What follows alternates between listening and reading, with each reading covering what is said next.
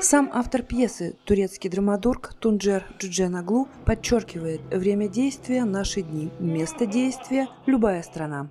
Это, конечно, не комедия, это даже близко не комедийная какая-то история. Это история про общество про наше, про людей, про то, какими людьми могут быть э, в, в обстоятельствах в некоторых. Да? И мне кажется, что невзирая на, на всю абсурдность происходящего, очень многие э, вещи, они э, звучат в данный момент и даже в нашем обществе. Спектакль в двух действиях длится около двух часов. На сцене 11 актеров. Одного из главных персонажей играет Данил Завьялов.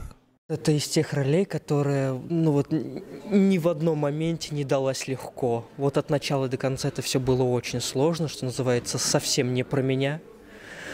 Тут накладывает очень много то, что это какое-то другое время, какое-то другое понятие, то, что я многого из того, что происходит в спектакле, в своей жизни, в человеческой, не пережил. И поэтому это очень тяжело осознавалось, и каждый раз это какие-то...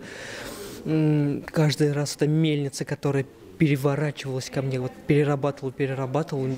Жители села живут в страхе. В селе строго следят за тем, чтобы не было громких звуков, потому что в это время может сойти лавина. Здесь убивают даже за то, что человек закашлялся слишком громко.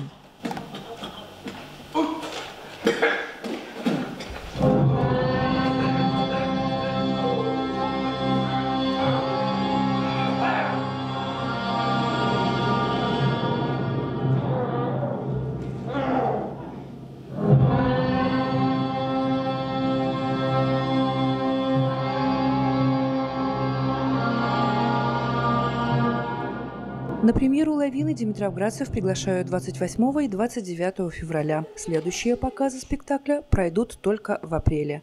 Марина Антуганова, Анжелика Бровинок, Димград, 24.